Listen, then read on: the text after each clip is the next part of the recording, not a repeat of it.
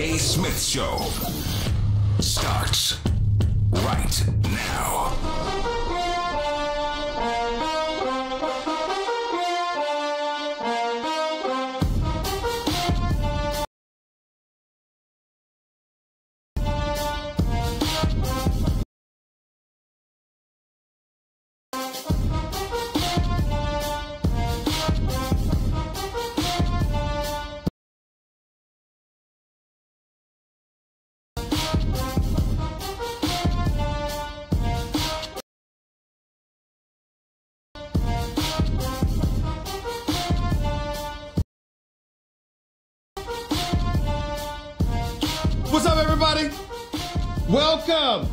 To the latest edition of the Stephen A. Smith Show, coming at you as I love to do every weekday over the airwaves of ESPN Radio and ESPN News, 250 plus markets across the United States of America, plus ESPN Radio on Sirius XM Channel 80, plus ESPN Radio simulcast over the live national television airwaves of ESPN News. Number to call up as always is 888 say E ESPN. That's 888-729-3776. The Stephen A. Smith Show is being brought to you by mycomputercareer.edu. Training for a better life. Lots of stuff to get into, stuff percolating out of the city of Angels, Los Angeles, California. They've got a new head coach. We'll be talking about that. Of course, there's been a couple of epic game sevens. Damian Lillard, CJ McCollum, and the Portland Trailblazers knocking off the Denver Nuggets uh, in game seven in the Mile High City yesterday afternoon. And then, of course, last night in the nation of Canada led by Kawhi Leonard's 41 points and buzzer winning, buzzer beating, game winning, game seven two point shot from the right baseline over Joel Embiid. The Toronto Raptors are going to the Eastern Conference Finals courtesy of a 92 to 90 victory over the Philadelphia 76ers in game seven of the Eastern Conference semifinals last night in Toronto, Canada. We will definitely get into that in just a second. Obviously, Houston, Golden State, game six. Golden State without Kevin Durant takes out CP3, James Harden, and the Houston Rockets. We'll get into that in just a couple of minutes. First order of business is this game with the Raptors against the Philadelphia 76ers. We look at the Raptors and we look at Kawhi Leonard. 41 points, 16 to 39 shooting. Ladies and gentlemen, he only, he only shot 41% from the field last night. Shot 2 or 9 from three point range. That's 22%. That's far lower than what he's been shooting throughout this series. But he was a monster all series long, averaging over 33, averaging better than 50% shooting, averaging better than 45% shooting for three point range. He was an absolute monster. Could Jimmy Butler defend him? No. Could Tobias Harris defend him? No. Could Ben Simmons defend him? No. Could Joel Embiid defend him in the end? No. And without any help, because Siakam didn't have but 11 points. Gasol didn't have but seven. Danny Green didn't have but two. Kyle Lowry didn't have but 10. 17 pivotal points from Serge Ibaka, no doubt. But in the end, when it really, really counted, as you looked at the Toronto Raptors and everybody that came with it, they did not want the ball. They did not want the ball. there was only one person that wanted the ball, and that was Kawhi Leonard. And he got it, and the Philadelphia 76ers did little to nothing to be able to stop him. He was an absolute monster when it counted. He showed there's a difference between the creme de la creme and those who just want to be. There's a difference between superstars and everybody else. There's clearly a difference between superstars and stars. James Harden is a star. James Harden is a superstar during the regular season. During the postseason, we got to have a different discussion. But I'll get into that in just a second. I'm going to stay with Toronto and Philadelphia for this reason, and this reason primarily above all else. The Toronto Raptors, right now, when you look at Kawhi Leonard, my God, is there a difference between him and DeMar DeRozan? We can understand why Masai Ujiri, the general manager for the Toronto Raptors, elected to make that trade, knowing that Kawhi Leonard could potentially be and likely be a one-year rental. Stay in Toronto for one year, compete for a title, go for the title, etc., etc., and then after that, and then after that, turn around, and you know something, lose him. But guess what? It was a risk that you're willing to make. No question. No question about it. But I do think there's a legitimate question as to whether or not Kawhi should leave for LA. Clearly, when he wanted to leave San Antonio, that wasn't about basketball. That was a quality of life decision. He was bored living in San Antonio. Let's call it what it is, y'all. This show is carried in San Antonio. I love the San Antonians out there. I love the Riverwalk. Not much else. Nice areas in the suburbs, movie theaters, restaurants, all of that stuff is true. But if you're looking for a little bit of excitement in your life in your 20s, let's just say there are other places, dare I say, more stimulating than San Antonio. Now, Kawhi, we don't know that to be the case because he never says anything. But we have to understand that's what we heard when he was in San Antonio. So if that's what we heard when he was in San Antonio, I can assure you of this. Outside of the weather being cold, he ain't got that problem in Toronto. Oh, there's a whole lot to do in, in Toronto. I, I can promise you that. When we talk about the words gorgeous mosaic, take it from me. It truly, truly is. Let me move on and transition to the Philadelphia 76ers because that's really where the story is. Toronto's about to go against Milwaukee. The Greek Freak against Kawhi Leonard. Two of the top four players on the planet Earth going up against one another right now. That's a lot to discuss. And we will as the show progresses because off the top, I think that Milwaukee wins this series in six games. I don't think Kawhi Leonard has enough help. Which brings into question whether or not it was worth Ujiri losing DeMar DeRozan for a guy, albeit better, considerably so, in Kawhi Leonard. Was it worth it for one year? But that's not either, that's neither here nor there. If you're the Philadelphia 76ers, you got an entirely different dilemma on your hands. First things first, do you keep Coach Brett Brown? Ladies and gentlemen, I'm not going to sit here and advocate to meet you that the man should be fired when he just took them to within one basket of an, a berth to the Eastern Conference Finals. What I will say to you is this, though. People are going to look at Joel Embiid constantly on the perimeter, not on the block. They're going to question Brett Brown. They're going to look at Ben Simmons and no jump shot and the fact that there's been no visible development whatsoever in that category. They're going to look at Brett Brown. You're going to look at the combination of Tobias Harris and Jimmy Butler and say, we can't keep both. We can only keep one. Which one do you keep? Is it Jimmy Butler? Sure. But if he's asking for max dollars, do you keep him then and lose Tobias Harris? Oh, by the way, does Tobias Harris want to stay there and play alongside Jimmy Butler? These are all issues the Philadelphia 76ers have to address, not to even mention their bench. Not to even mention their bench. But I will tell you this and I will tell you this right here, right now. When I look at the Philadelphia 76ers, I'm proud of these brothers. And I got to tell you something else too. I saw Joel Embiid crying like a baby last night. And there were people that were of this mindset. Because remember, the, still, the, the, the Sixers turned over the ball, had clock violations basically three of the last four possessions.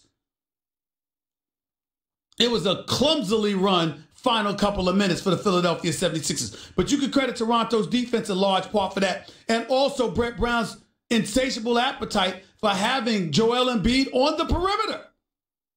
Not the wisest way to go, not the wisest route to take. But when I saw Joel Embiid crying, whereas most people would malign him for it, I'm not. I love seeing him. I don't know if it was necessary for Joel Embiid to be crying in a hallway while hugging and kissing his girlfriend. I'm not talking about that part. But damn near crying on the court, practically inconsolable when Marc Gasol tried to, you know, pay homage to him. When all of that was going on, I'm here to tell you something, ladies and gentlemen. And I'm here to tell you something straight up and down. When you look at a guy like Joel Embiid being that affected, I'm telling you right now, if you're a Philadelphia 76ers fan, although it absolutely positively is hurting your soul as we speak, I want to let you know something right here, right now. Joel Embiid and those tears you saw him streaming down his face and that pain you saw sifting through his body like that, it may end up being the best thing that ever happened to you. You see, to me, Joel Embiid, and it's not to disrespect him in any way, but to me, Joel Embiid became a man last night. Because let me tell you something right now. Ain't no more airplane flyings, joking around, chirping. When you lose a game seven and you lose it in that magnitude with Kawhi Leonard drilling a jumper over you that bounced in and out of the rim and then into the rim. About three or four bounces. Let's count them right here. He goes up, clock one, two, three, four. Four bounces. And then goes into the rim to win the series. To win the series. Let me tell y'all something right now.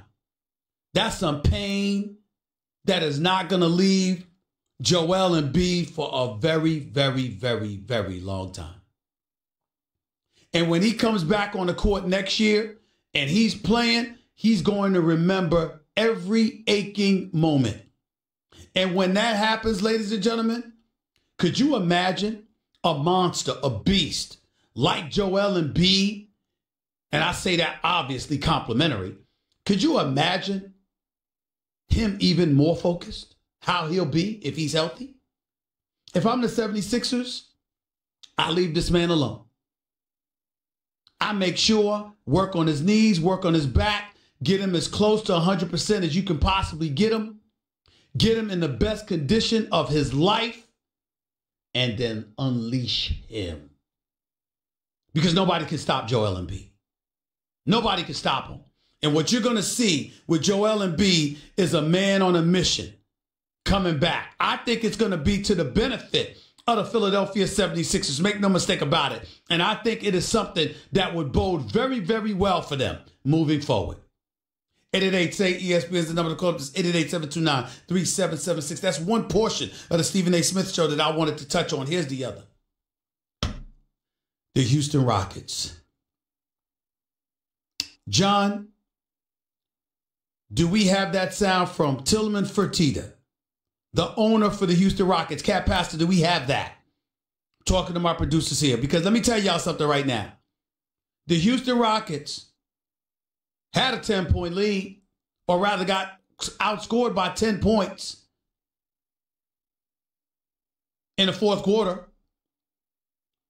Mr. Fertitta, the owner for the Houston Rockets, was not playing any games. And I'm here to tell you something. He's justified because let me tell you, when I look at the Houston Rockets, Ladies and gentlemen, it's not just that you lost, it's that you lost game six on your home court.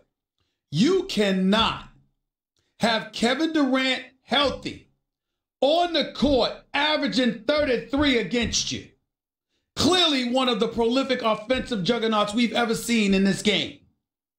Kevin Durant has the Golden State Warriors up 2 0 in this series. Houston, with him on the floor, comes back and ties the series.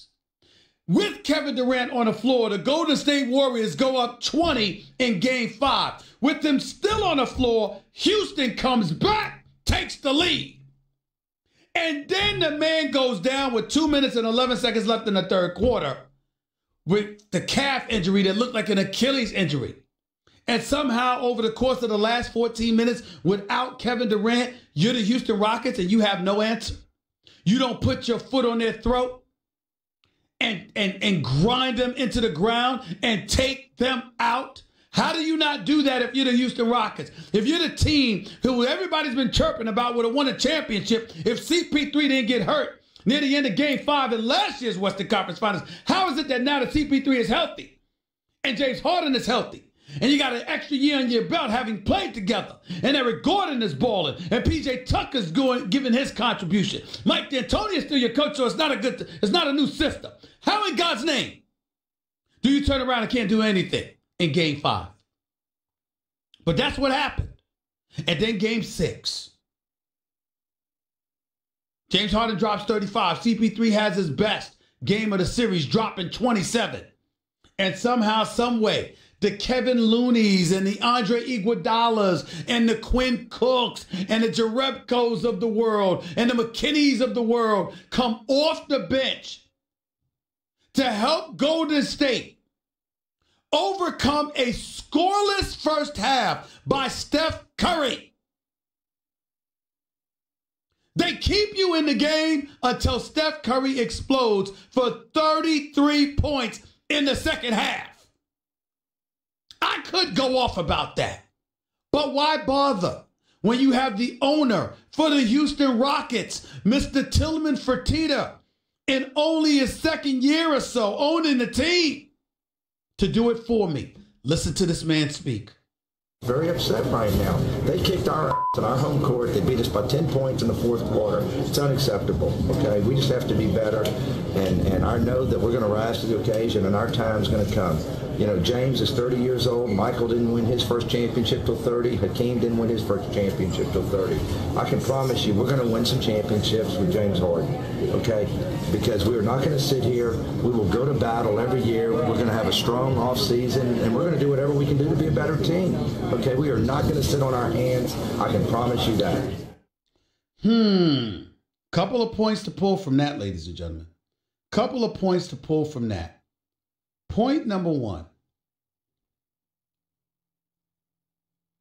Tillman Fertitta was wrong about this much. Michael Jordan won his first title at the age of 27. He was 27 years old when he won his first title. Okay? Michael Jordan. That year, 1990 91, he was 27 years of age, played all 82 games, averaged 31 and a half points on 53% shooting from the field. He was Michael Jeffrey Jordan. Okay? His birthday is February 17th, 1963. So when you look at him in the 1990 91 season, when they won their championship, he was 27 years of age. That's number one. Number two, listen to Fertitta. Listen, ladies and gentlemen, I got to confess, I love this man. I love this man. I love this man's attitude. He's ticked off. He's not happy. They underachieved. He expected more. They didn't deliver. And he's going to hold people accountable. Now, I don't know what he can do. When you're just in the first year of giving Chris Paul a four year, $160 million deal that they had to give him.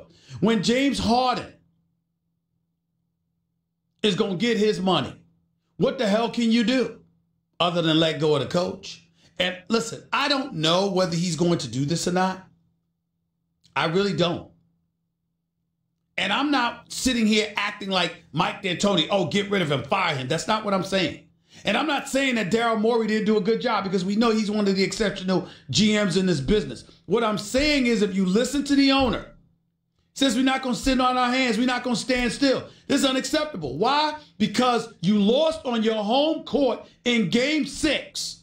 See, ladies and gentlemen, let me tell you a different philosophy. And this is why Stephen A. Smith I guess why I'm not a president of basketball operations. Listen, because I know I would do a good job, but here's the reason why I'm probably not.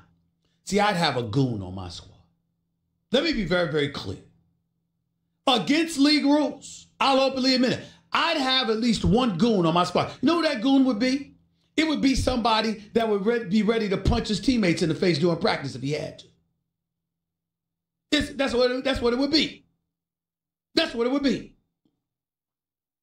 I'm telling you that right now. I think every team needs it. And Houston was the voter. And John, I'll tell you what, tell my producer something right now. Tell my godson Jonathan here, right in front of me. Let me tell y'all a little story about me. I played Division two ball. I played at Winston State for the Great Big House Gaines, whatever the case may be. Cracked my kneecap in half so I could never really shine or whatever. But earlier in a part of my career, before I cracked my kneecap, tell you a little story, John. I had a teammate his nickname was Shaq. Tall, relatively skinny dude, wore goggles, high top. Yeah, yeah, yeah, what's going on? That's how I used to talk, you know? And I got into a game. And an opponent for the opposite team drilled three three shots in front of my face. Just, just, just, just drilled three jumpers in my face.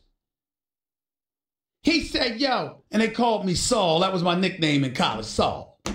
And he said, yeah, yeah, so come here for a second. Come here for a second. Yeah, come in.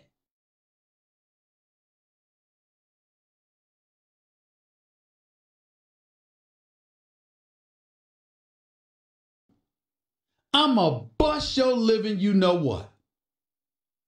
Ladies and gentlemen, I played 20 minutes the rest of that game. That man didn't score one basket.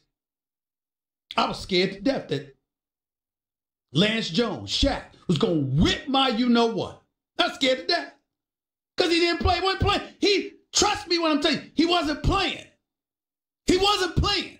He meant it. He's gonna bust my living, you know what? Because damn it, yo, it's not happening. Stop him. Figure it out. You need a goon on every squad. And a lot of times we look at do some rough rider like a PJ Tucker, and we look at a guy who's hard nosed, hardcore, and it's his job to defend whatever. No, no, I'm not talking about that kind of dude where he goes on the court and he's a rough rider. I'm talking about the kind of rough rider that makes you scared to be in the locker room or in practice with them because you're afraid of what they're going to do to you if you don't do your job. I think every team needs that. Remember Ken Bannister with the New York Knicks from back in the day? Remember Anthony Mason when, when, when Pat Riley found him off the scrap heap, God rest his soul? Remember guys like Xavier McDaniel, Maurice Lucas, the Bill Laimbeers, the Rick Mahorns of the crew? Those dudes. Xavier McDaniel, those dudes. Charles Oakley's, those dudes. To me, every team needs one of those guys. Every team needs one of those guys. To a lesser degree, certainly not the enforcer that any of those guys are that I just mentioned. To a lesser degree, that's Draymond Green for the Golden State Warriors. Do you really want to not do your job and have Draymond Green as a teammate? Because let me tell you something about Draymond Green. He's a basketball savant. He knows the game. He's smart. You can't sit up there and look at Draymond Green and judge him by scoring. That's not what he does. If that's the case, Rodman would be a scrub bagging groceries instead of a Hall of Famer. It's how you play the game. It's the cerebral approach that you have towards the game because of your understanding about what everybody is supposed to be doing, along with yourself. And it's the athleticism and the fire in your belly and the competitive fervor in your belly that enables you to hold other people accountable. Why is Michael Jordan great? The GOAT. Why is Kobe Bryant worthy of being in the conversation? Because, ladies and gentlemen, it wasn't just about them and their ability to put the ball in the hole. It was about the fire in their belly that made them hold you accountable. That made them say, I don't give a damn about your friendship. I don't give a damn if you like me. I don't give a damn if we don't get along. You better do your damn job or else. That was them. As great as they were, Kobe and MJ had a little bit of goon in them. They had a little bit of goon in them. Where's that in Houston? It's non existent. It's a big reason why they lost. It's a big thing that Fertitta was alluding to. And it's why I believe it's possible. I don't know, but it's possible. Fertitta might make a coaching change. I put nothing past this man. He ain't playing. D'Antoni is not safe right now. This was an incredible loss of a series for him. It was an indictment against whether or not you can win playing his brand of basketball.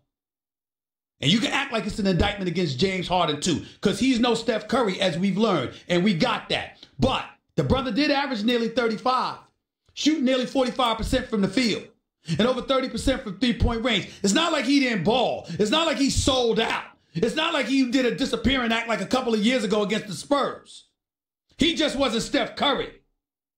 But what position was James Harden put in to succeed? We don't want to talk about that, do we?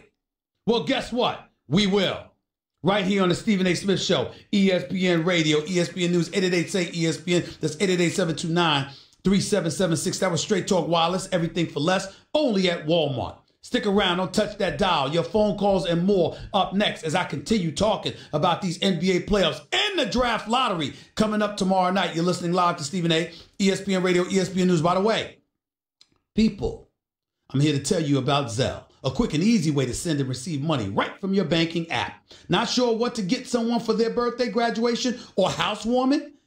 Send them money with Zelle, a truly one size fits all present so they can buy whatever they want. The money goes directly into their bank account, typically within minutes if they are already enrolled. With Zelle, so they don't have to wait long to spend it on the perfect gift for themselves.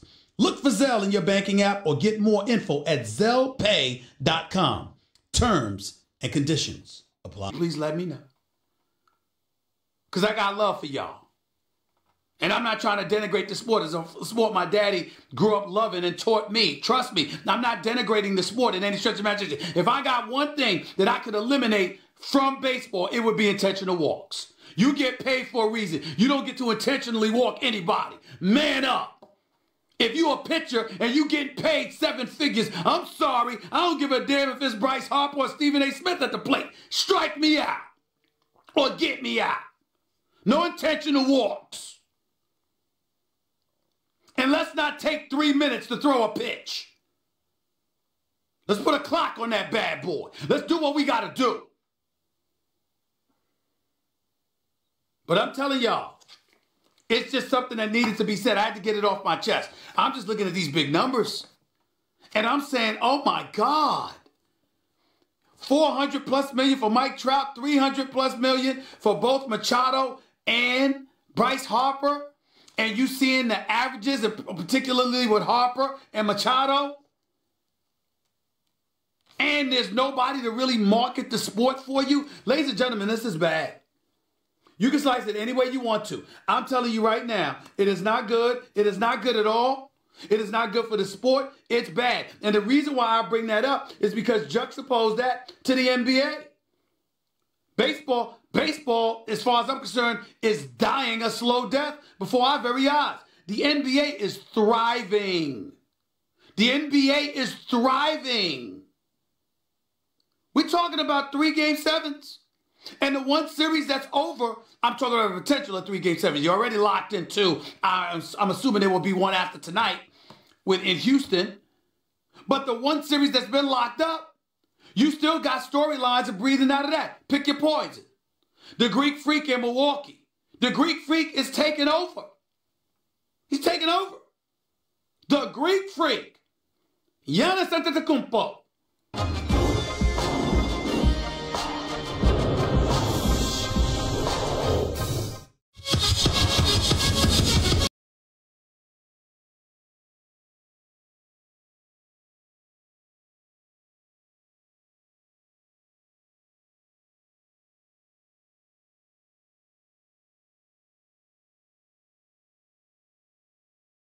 Smith Show, ESPN Radio recognizes National Military Appreciation Month, brought to you by the Naval Federal Credit Union, proudly serving the armed forces, the DoD, veterans, and their families for over 80 years. Federally insured by the NCUA. Plus, get triple action protection for optimal engine performance with Shell V Power Nitro. Plus, premium gasoline. 888 say ESPN. That's 888 729 3776. Ladies and gentlemen, I'm not exaggerating. I'm not exaggerating. Uh, listen, I got teammates that are still in the area. Kevin Edwards, known as Ski. Uh, my boy Mark Turner, that lives in Jersey. My man Boris Terrell Battle, that lives in Minnesota. My man Gary Stevens, aka Spank, Spanky. Phil Hayes. I mean, there's a whole bunch of cats that I went to school with. They were teammates of mine. And they remember Lance Jones, aka Shaq, probably still living in Charlotte, North Carolina. That's where he's from. I miss you, boy. It's been damn near 30 years since I've seen you, man. I miss you. I still love you, man. Still remember my boy, my teammate from back in the day. I mean, Chuck Swearinger was my teammate. You know, Maurice Edmonds was my teammate, Mo Edmonds. I mean, I mean, I remember all the boys. You know what I'm saying? Toby, the whole crew. But my man Shaq, Lance Jones, six eight.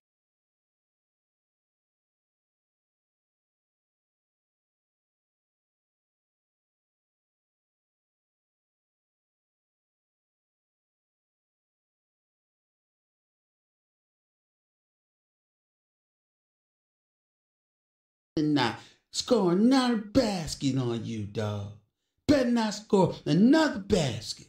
And he wasn't playing. He wasn't playing. My man Monte, Monte Ross, former coach of Delaware.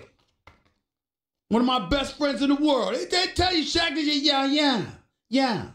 So, nah, nah. He better not score one more basket. That's exactly what he said. He wasn't playing. And I was scared. And he ain't score again either. Because I was scared. Every squad needs a goon. Every squad. Metta World Peace. And when he was running Ron Artest, you had cats scared at what he was going to do to them in practice. Charles Oakley has run up, up to many a dudes and slapped the living hell out of them. He ain't care. Don't get me started with my man DC, my brother, Derrick Coleman. Rod Strickland was a bad brother. Had no punk in him whatsoever. Even though that time he got in that fight with Tracy Murray, his conditioning was highly questionable. But that's a different subject for another day. Gary Howard, if you listening somewhere, stop laughing. Here's the point. The point that I'm trying to make to you is everybody, every squad needs a goal. Every squad. And the NBA, with all of these little soft peddling rules, try to dissuade some of that. But I'm talking about the cats you practice with. I'm talking about a dude that's a goon to his own teammates, if he gotta be. That ain't on camera. Okay? You can get away with some stuff that way. I'm just saying. 888 say ESPN. It's 888 My man Keyshawn Johnson know what I'm talking about. He tried to be hardcore. Keyshawn actually a very nice guy. He'll tell you how he is, but he a lover, not a fighter. He ain't trying to start no trouble with nobody. You know, don't let Keyshawn fool you. Keyshawn, don't get me wrong, there's no punk in him whatsoever. But Keyshawn the type of cat, he ain't he gonna talk. He, he a lover, not a fighter. He ain't trying to do that. Happily married man, I won't say that. But he a lover, not a fighter. He ain't trying to do nothing like that. He just ain't gonna be a punk. But you need a goon. You need a goon. It's just that simple. Anyway, back to our regularly scheduled programming. Before I get to the phones, there's some news uh, that I was a part of this week. And after Adrian Wojnarowski, our insider extraordinaire broke the news that the Lakers had hired Frank Vogel as their new coach. Obviously, some of the inside information came my way because that's who I am. I'm the grave digger. What I do. I ain't got time. Yeah, I'm past that time in my career. Not knocking anybody who does it. Adam Schefter, Wojnarowski, those guys are phenomenal, great in every way. None but love for them. But my days of trying to be an insider have long passed. I'm hosting shows. I ain't got time for that. Be the first to the story, please. Give me the dirt after why it happened. That's where I excel. Now, here's the deal Frank Vogel is the new head coach for the Los Angeles Lakers. I'd be shocked if he lasted two years. And my shock has absolutely positively nothing to do with Frank.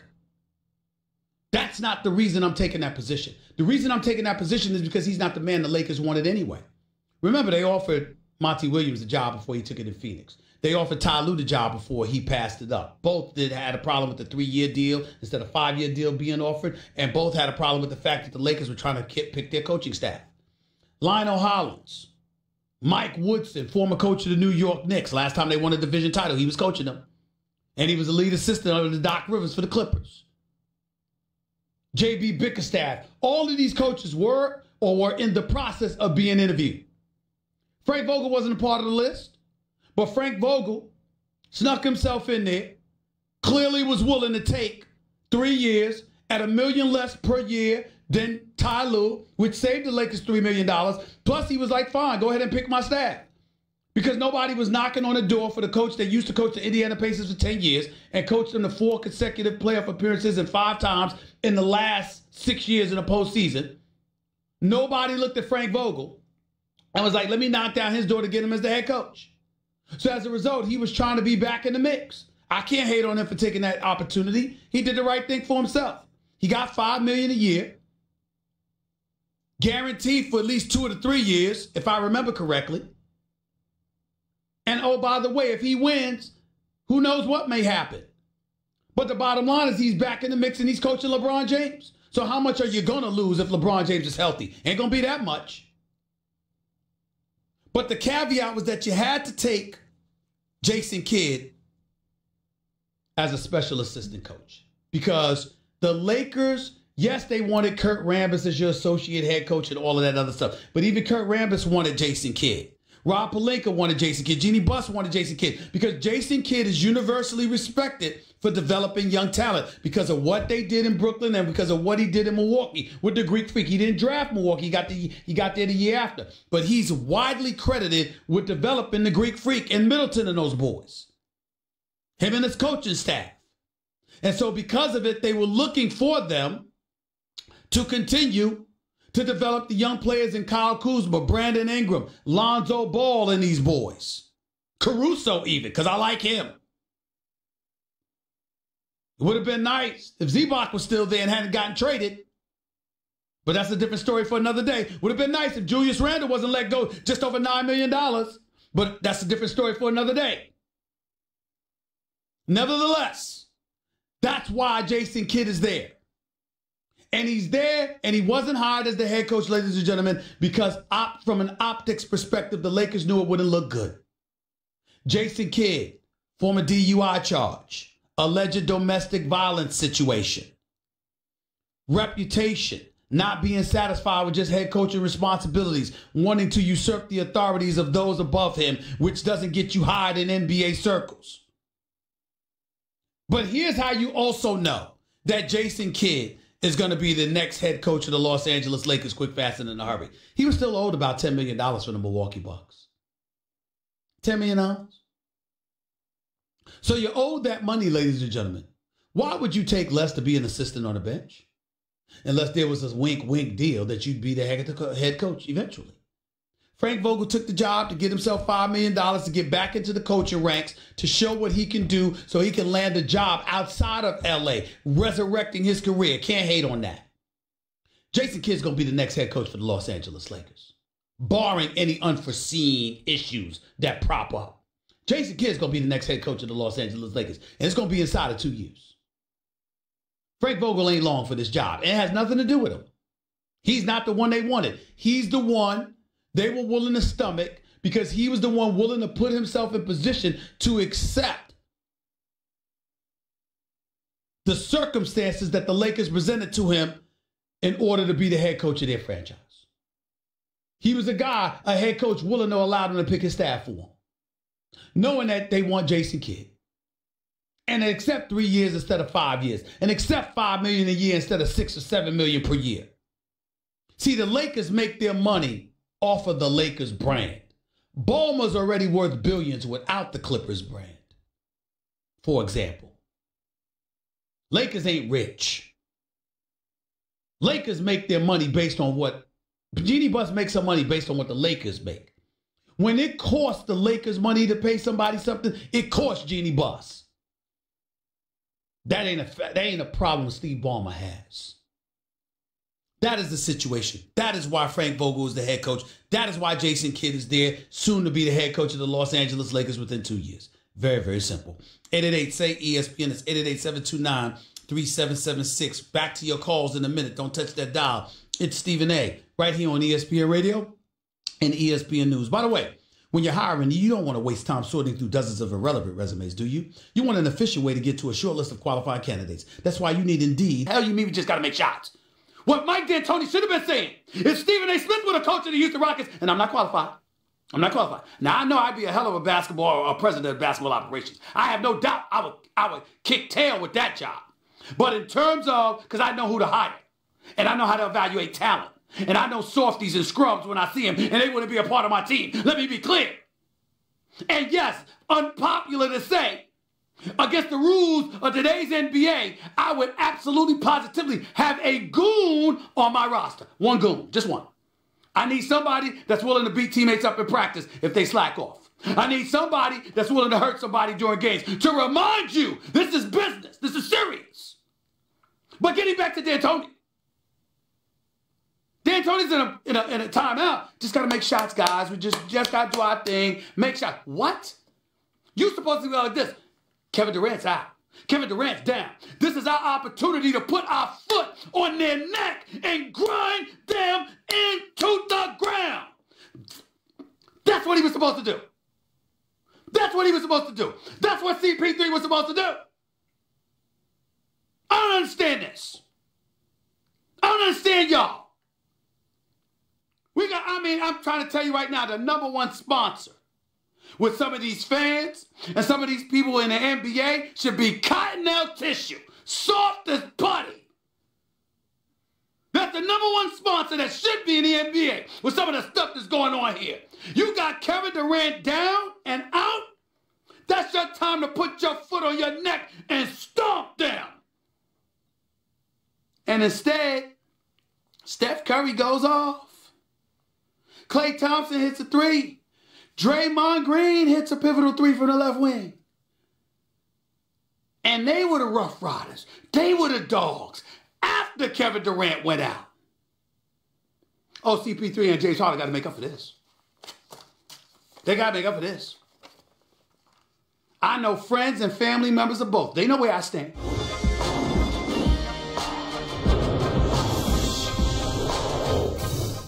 Smith Show on ESPN Radio is presented by Progressive Insurance. Guests on the Stephen A. Smith Show appear via the Shell Pennzoil Performance Line, and you can always get in touch with the show through the 1-800-Flowers Twitter feed. Biggie, give me one more chance. Welcome Stephen A. Smith Show. We're coming to you live from above the Heineken River Deck at Pier 17. South Street Seaport. By the way, if you missed my opening segment, go check it out on demand in the Stephen A. Smith podcast brought to you by Capital One. Capital One is reimagining banking, offering accounts with no fees or minimums that can be opened in five minutes. Capital One. Hey, hey! What's in your wallet? Capital One, NA member, FDIC.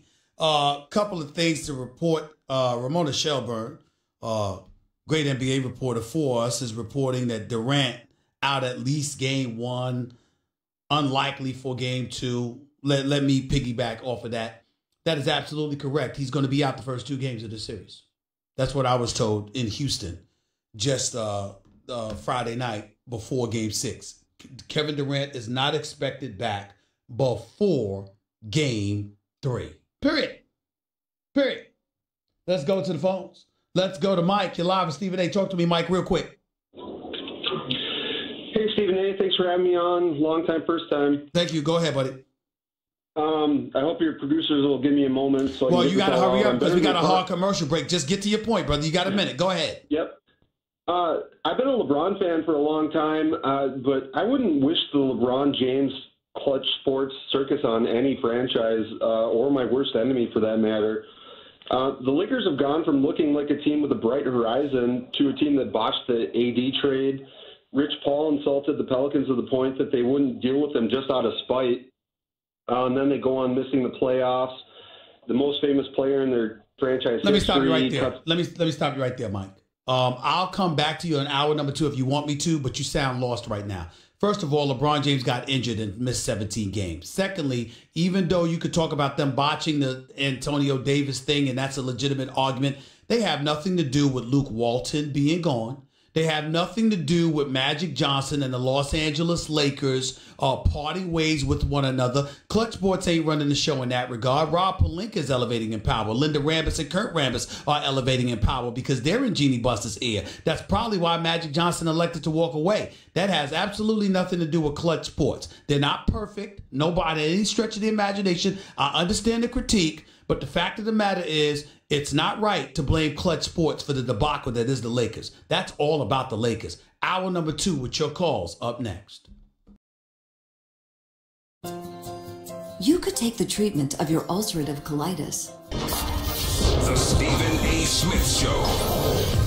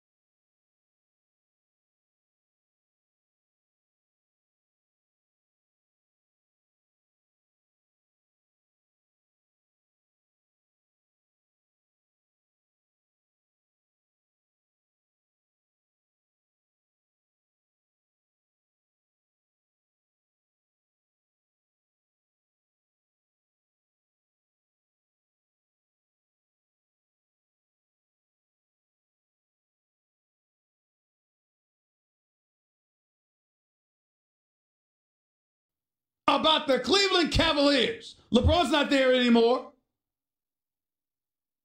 Kevin Love should be on his way out. Don't torture that man by keeping him in Cleveland. Send him someplace where he can compete for a championship. He's a damn good player. I mean, you let J.R. Smith out of his misery. When you look at, at the Cleveland Cavaliers, other than Sexton out of Alabama, who the hell else is there?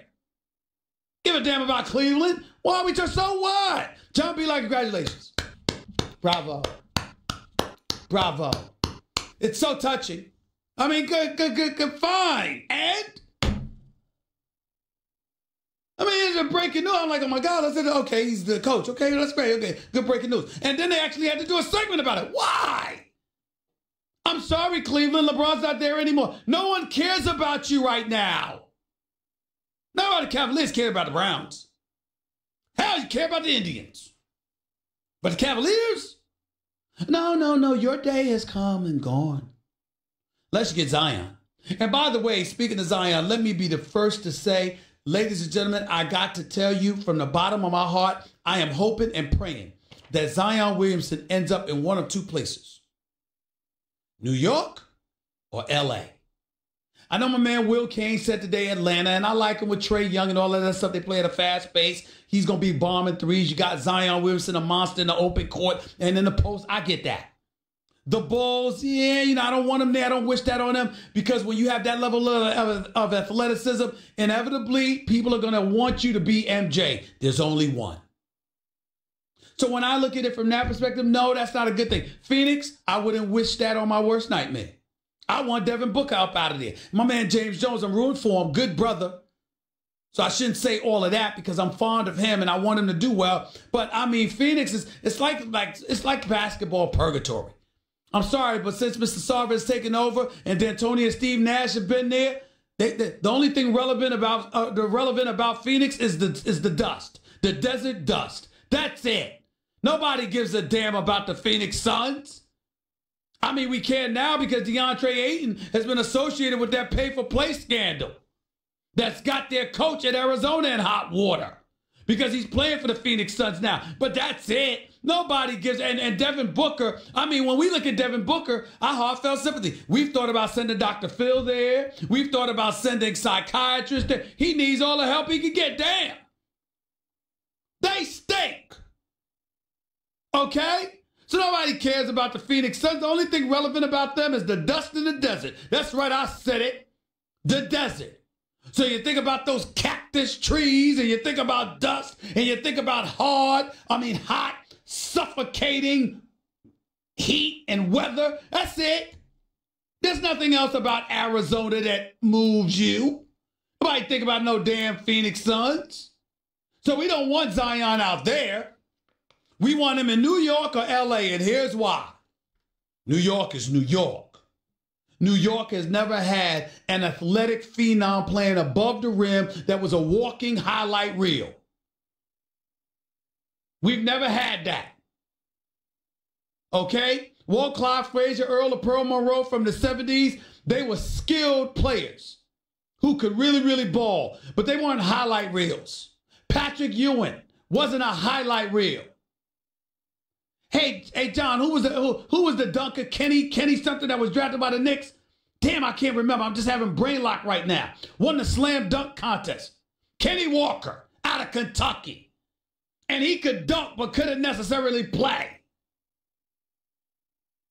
Mark Jackson was rookie of the year, and with his flashy passes coming out of St. John's. We love that. We had nobody like Zion Williamson blessing the presence of the garden or the corridors of the garden. We ain't had that.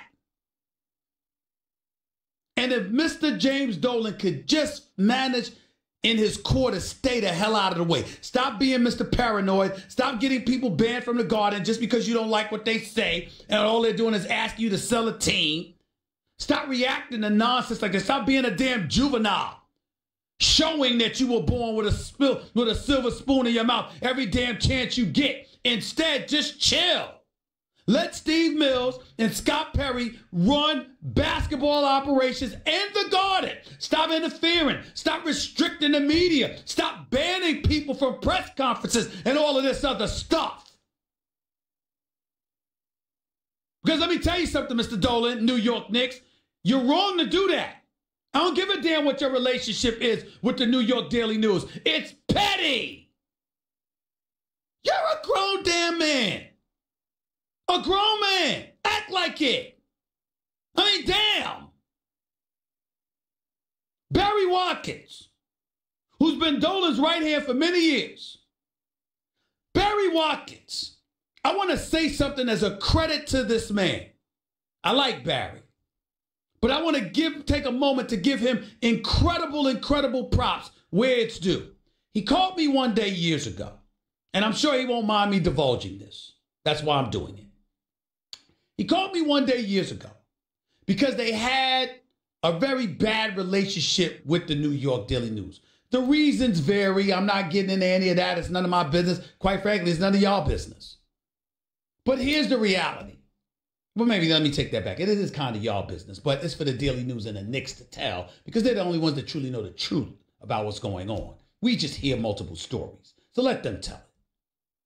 But Barry Watkins, Dolan's right hand man, overseeing media relations, public relations, and all of that.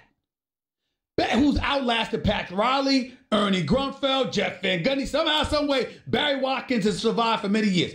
Barry Watkins said something to me one day, and I so appreciated this. He never sat up there and tried to spin what I said, misconstrue it, nothing like that. All Barry Watkins said, could you do me a favor, please? When you talk about the New York Knicks organization and Madison Square Garden in concert with the New York Daily News, can you please just inform the public? We don't like them. We don't trust them. And we don't believe anybody should listen to anything they say. And they probably feel the same way about us. So, can you please just say that before you get into anything about us? And I think that's totally fair to preface everything that involves those two entities, highlighting their disdain for each other, and leave it at that. That's all he asked. Which is why I never go, I, I never fail to go out of my way to make sure I emphasize that. Because that's all he's ever asked. It's James Dolan himself that takes it to another level. Steve Mills, Scott Perry running the Knicks organization. Who gets it away? James Dolan. Headlines Charles Oakley being escorted by security out the arena, forcibly so. James Dolan getting rid of a, of a fan, and all the fan did was say, please sell a team. And he making headlines for that kind of nonsense. That's James Dolan. He's getting in the way. And I'm telling you right now, I'm hearing 95% chance KD, Kyrie, both coming to New York. If anything could get in the way potentially, it's that nonsense. Because it ain't going to be Steve Mills and Scott Perry. Ladies and gentlemen, they're doing their job. They're doing their job. They're working this thing with agents, with players, and everything else. They're working it. They're doing what they're supposed to do as executives hovering over a franchise. Anybody that's going to get in the way is, Dane, is James Dolan's petulance. He'll pull out the money. He's got deep pockets. He'll pay for whatever's necessary. And oh, by the way, he's far more generous than giving credit for. James Dolan has done a lot of good things for a lot of people including what he did for Tyler, Tyson Chandler when Tyson Chandler's mother was ill. And James Dolan sent his private jet to pick up Tyson Chandler just to bring him to games and to take him back to his mama when he finished. He wasn't even practicing with the team. James Dolan did that. James Dolan does a lot of good that he is not given credit for. But the reason he isn't given credit for it is because of his own petulance and belligerence and childishness that gets in the way and glosses over the good that he actually does. So let's just hope that that doesn't get in the way of KD and Kyrie coming to New York because I'm hearing there's a 95% chance that they're coming in. Folks that say will refuse to say 100% because KD and Kyrie's personalities are of such that they could change their mind at the last minute. But it's pretty much done. And if you get Zion to the Garden, especially with those two. Lord have mercy. It would be something special to behold. It'd be box office. New York Knicks would be a Final Four team in the Eastern Conference. Tell you that much. They'd get it at least to the conference semifinals. So they've got a 14% chance. Okay, and we'll see what happens. They're one of three teams with a 14% chance to get the number one overall pick in tomorrow's NBA draft lottery. The Lakers don't have that much of a chance, but they're in the draft lottery. That's another place I'd love to see Zion Williamson. Here is why Zion. Zion Williamson with LeBron James.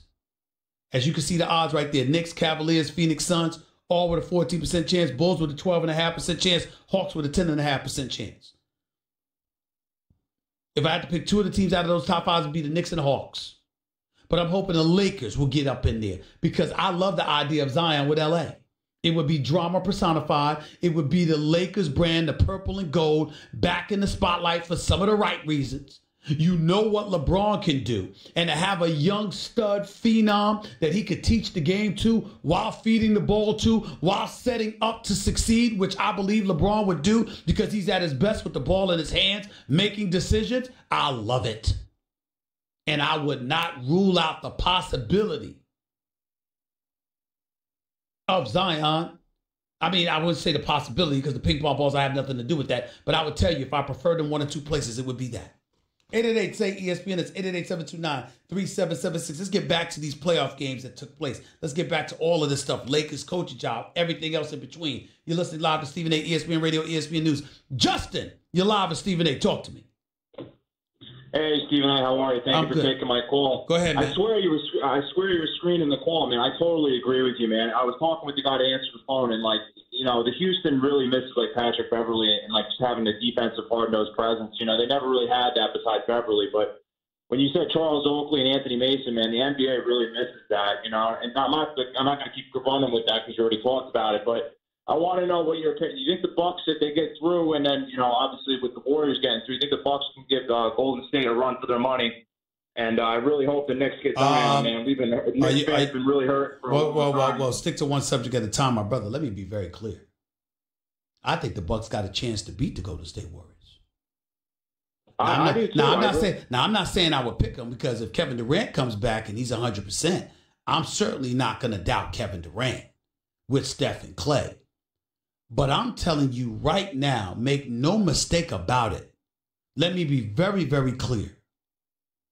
The Greek freak being as dominant as he can be on the inside and in the open floor, combined with everybody from Middleton to Merodi- uh, Meritish, Meritish to George Hill to I, I I mean Brook Lopez, you got four to five guys that can shoot the three. And oh, by the way, four of those guys, which included the Greek Freak, shot better from three point range in their series against Boston than Kyrie Irving shot from the field. Ladies and gentlemen, if the Milwaukee Bucks defend the way that they've been defending and hit perimeter shots the way they've been hitting perimeter shots, they can beat the Golden State Warriors. I wouldn't bet my money on it, but I will tell you that series is going a minimal of six games. And you have to remember that the Milwaukee Bucks have home court advantage. So if there were to be a game seven, it would be in Milwaukee. Let's keep that in mind. Let's not underestimate what we're seeing here. Give you the last word, Justin. Go ahead. No, I totally agree. They also have the size, and I think also the Bucks can score with them. That's why I asked you if you think they can run with them, especially if Kevin Durant's not healthy. No, no, no. If Kevin Durant is not healthy, the Milwaukee Bucks will beat the Golden State Warriors. If Kevin Durant for some reason can't play, they will beat the, the Milwaukee Bucks will beat the Golden State Warriors. They need Kevin Durant to win the title. They need Kevin Durant to three-peat. They will not win without Kevin Durant.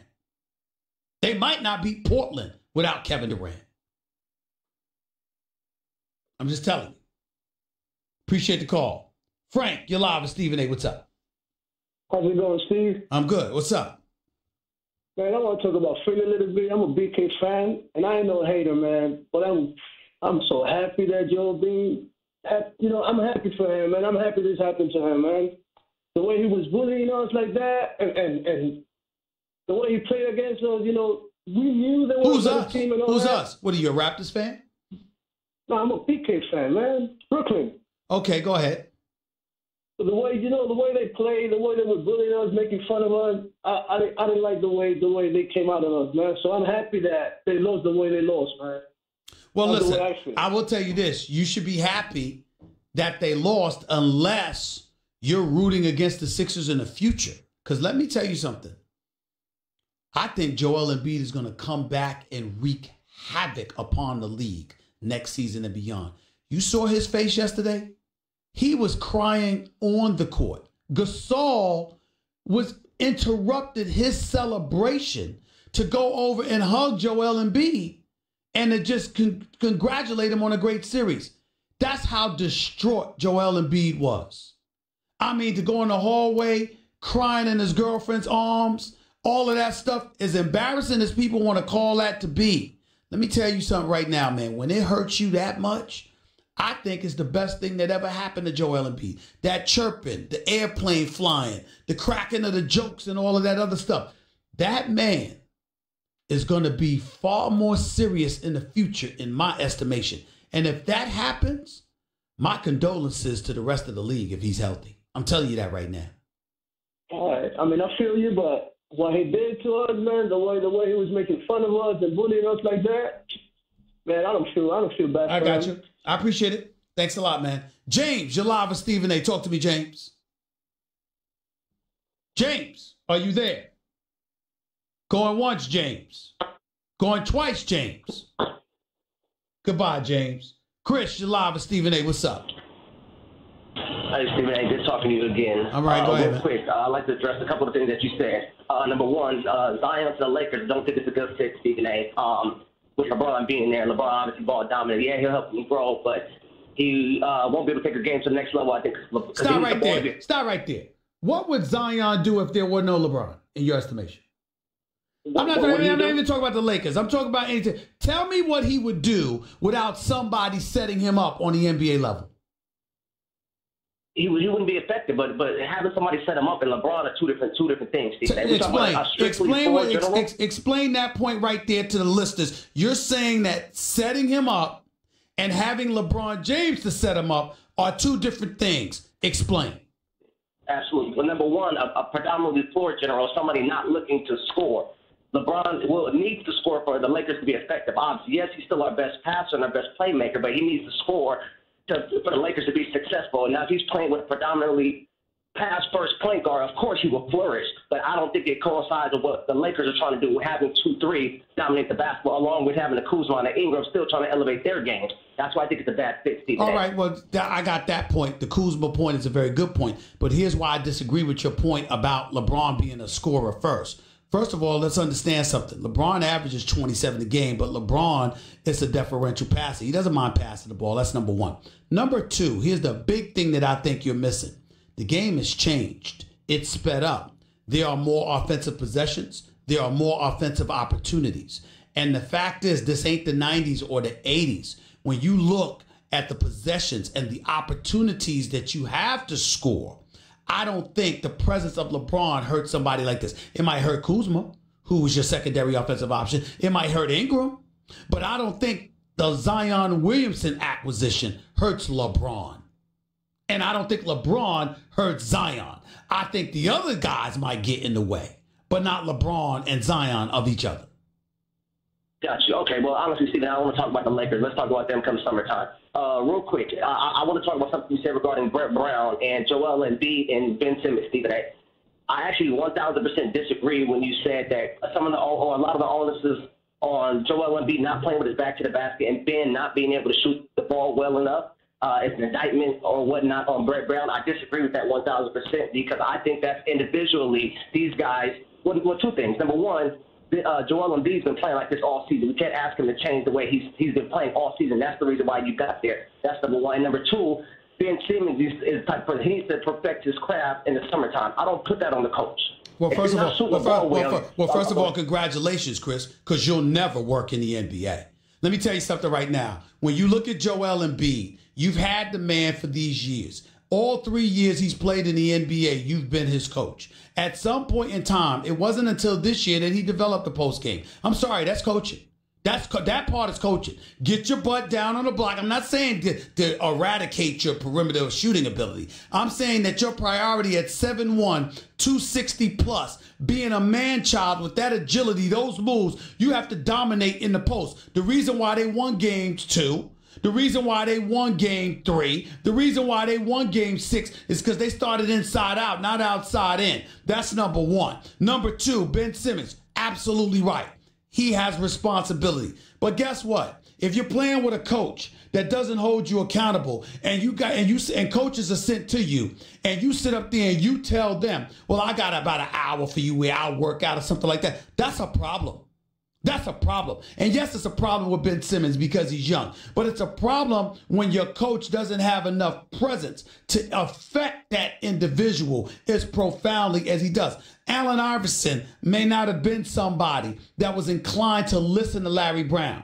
But Larry Brown got on his damn nerves so much because he kept pestering and peppering him Iverson knew he had to be accountable for someone, whether it was Larry Brown, whether it was the Sixers organization, whether it was the media, because Larry Brown wouldn't let it go because he was harping on the things you were supposed to be doing.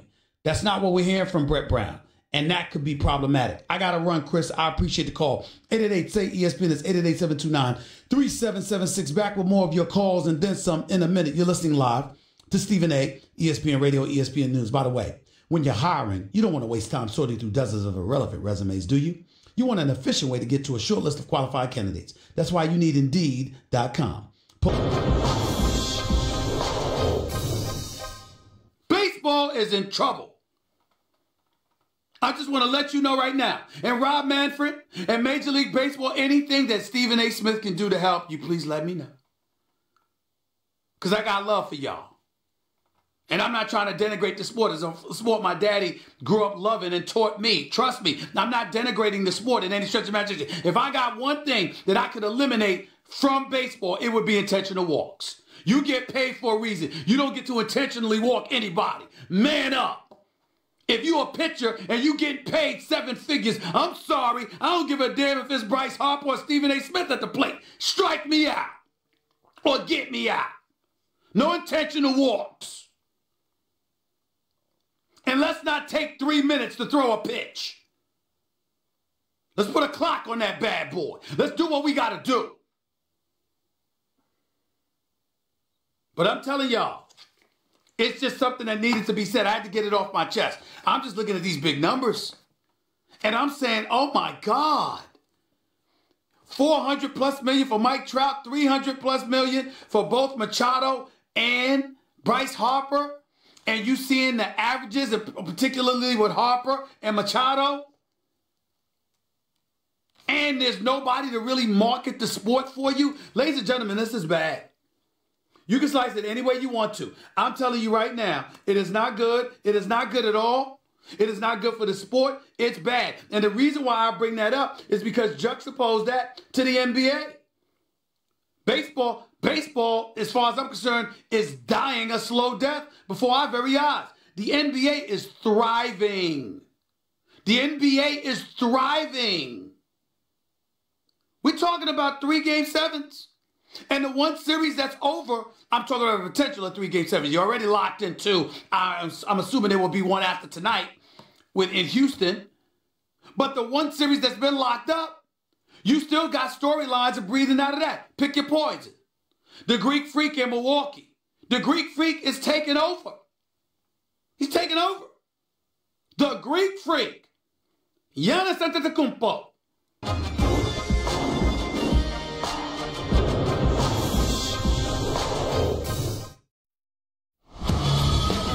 The Stephen A. Smith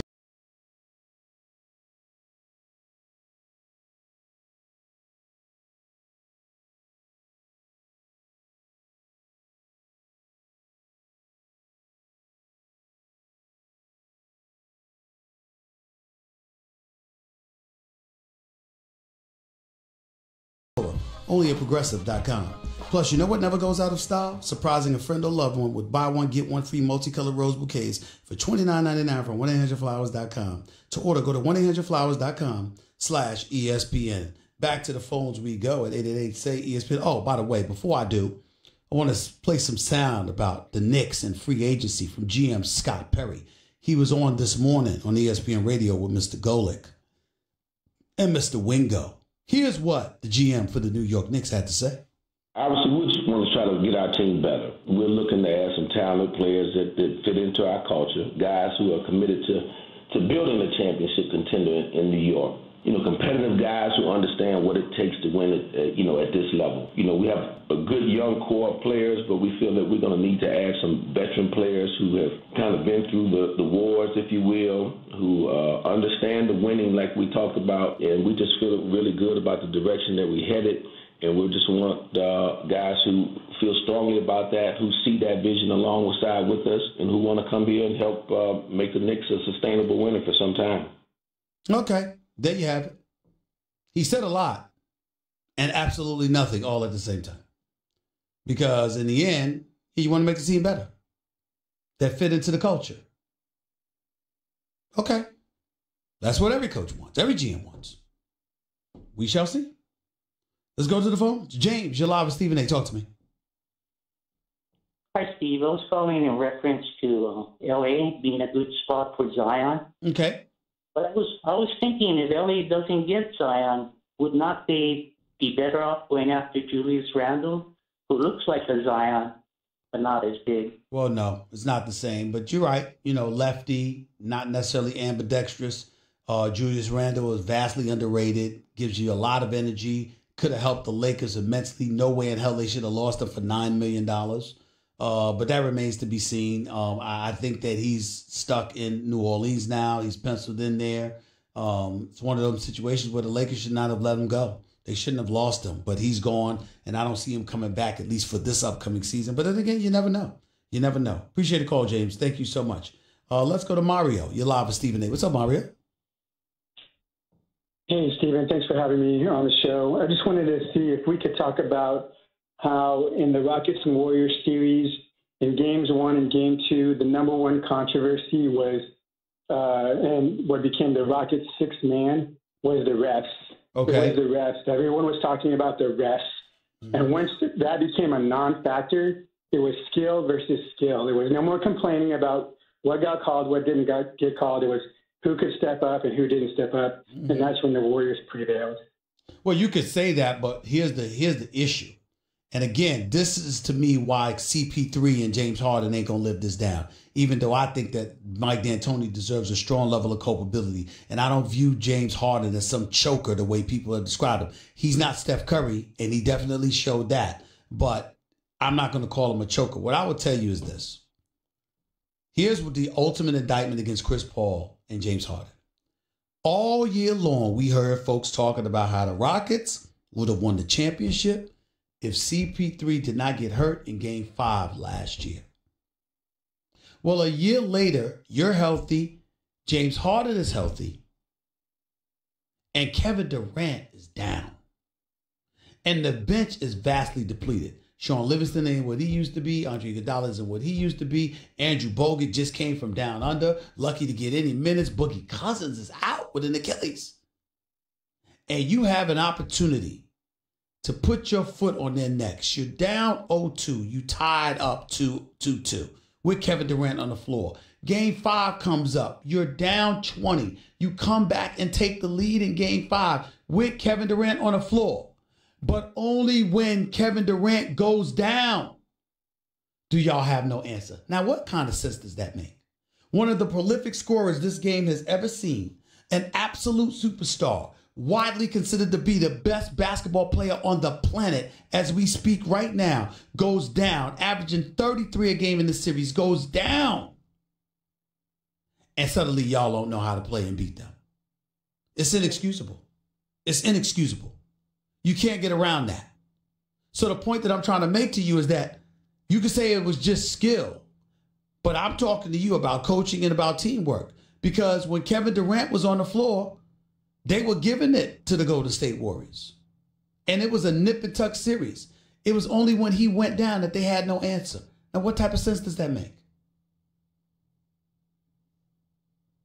Appreciate the call, Mario. Take care. Bobby, you're live with Stephen A. What's up? What's up, Stephen A? How you doing, man? I'm all right. Talk to me. Oh, good. Listen, Stephen A. Couple questions for you, my brother. Listen, um, now everybody talking about all the teams in the NBA playoffs, but to me, my personal opinion, you know, I, I'm uh, listen. Well, first of all, I'm, I'm a Golden State Warrior fan. I, I love the Warriors, heart and soul. But listen, but but the scariest team in the NBA playoffs to me right now is the Portland Trailblazers. I'm telling you, you everybody talking about everybody else, but everybody better watch Portland. The reason why is because of this is because they have two guards I like to call Batman and Robin. Uh, I, I call Damian Lillard and C.J. McCollum. They are the Batman and Robin of the playoffs because if Dame don't get you, C.J. gonna get you. Okay, they, they, listen. They, it, it, it was explained. It, it, it was explained in the last series that they played in. Okay,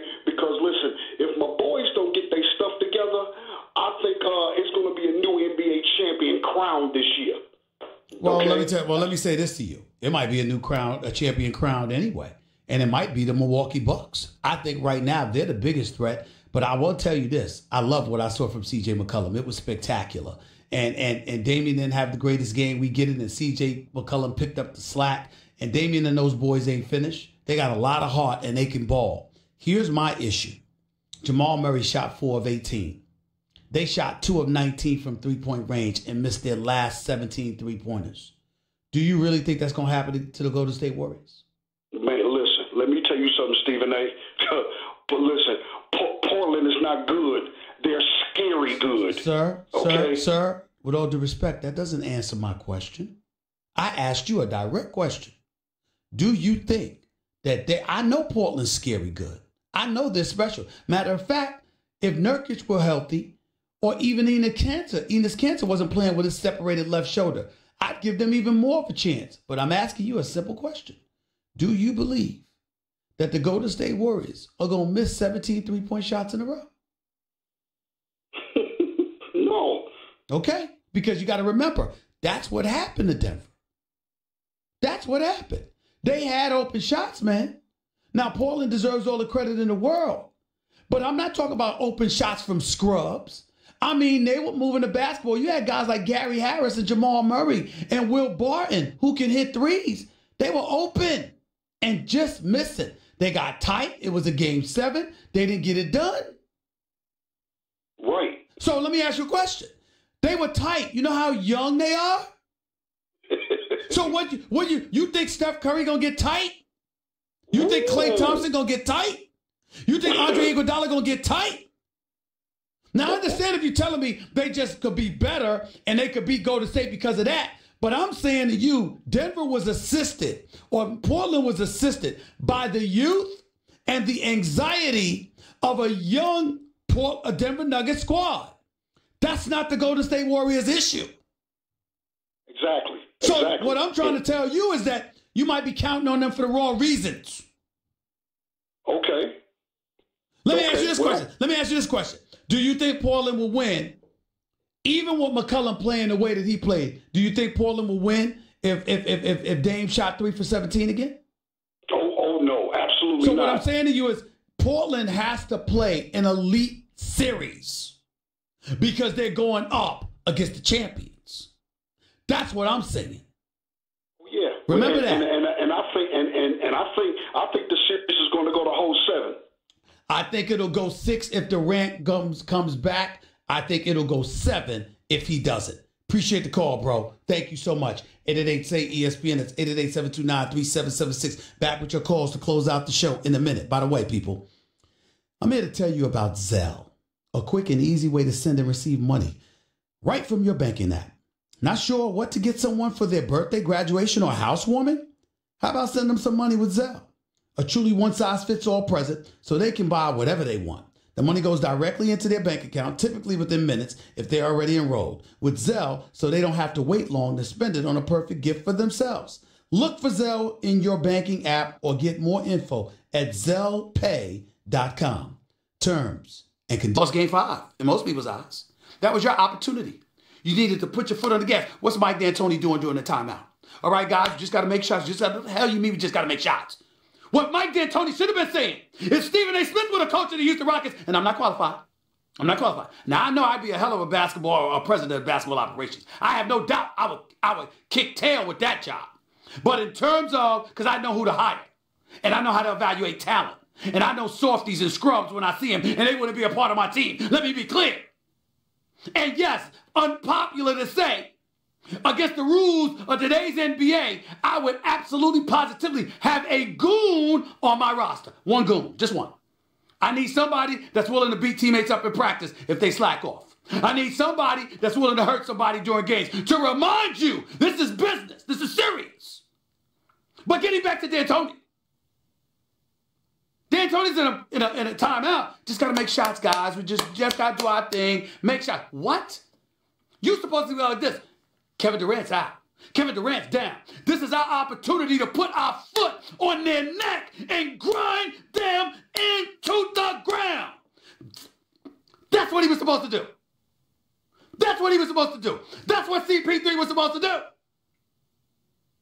I don't understand this. I don't understand y'all. We got, I mean, I'm trying to tell you right now, the number one sponsor with some of these fans and some of these people in the NBA should be cottonelle tissue, soft as putty. That's the number one sponsor that should be in the NBA with some of the stuff that's going on here. You got Kevin Durant down and out. That's your time to put your foot on your neck and stomp them. And instead, Steph Curry goes off. Klay Thompson hits a three. Draymond Green hits a pivotal three from the left wing. And they were the Rough Riders. They were the dogs after Kevin Durant went out. Oh, CP3 and James Harden got to make up for this. They got to make up for this. I know friends and family members of both. They know where I stand.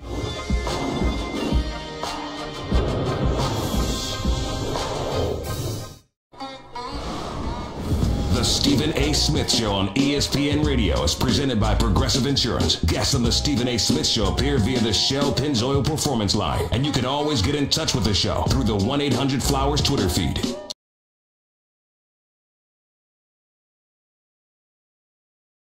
Out on demand in the Stephen A. Smith podcast.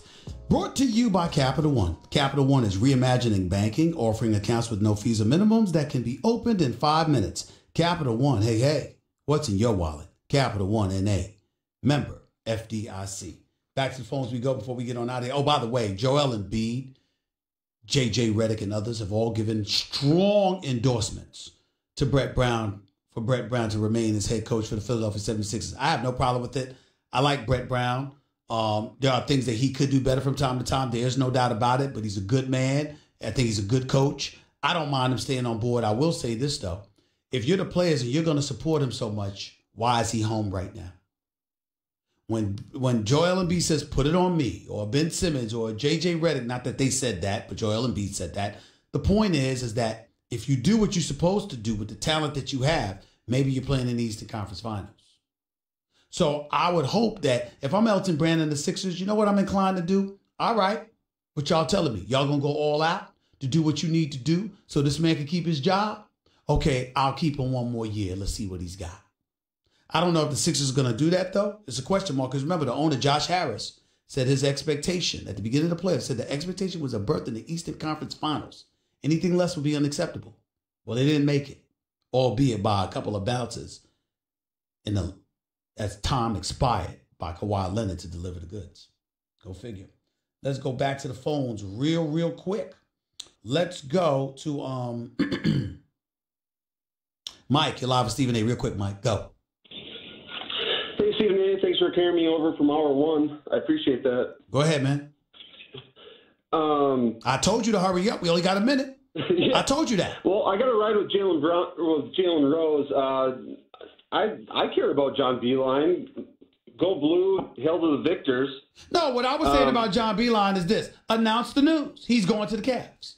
But what is it about the Cavs that's newsworthy? Not about John Beilein. What is it about the Cavs that's newsworthy?